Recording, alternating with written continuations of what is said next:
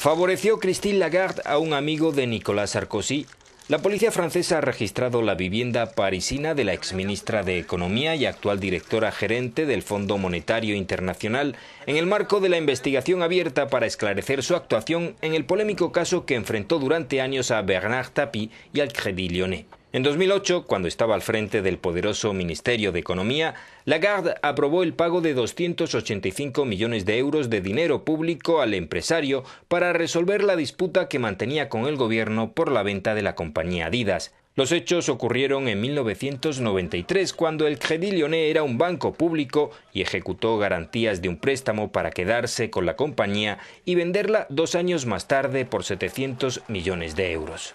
Tapie denunció al Estado por fraude y recibió varios reveses judiciales hasta que llegó a la presidencia su amigo Sarkozy y Lagarde zanjó el asunto con su polémico arbitraje.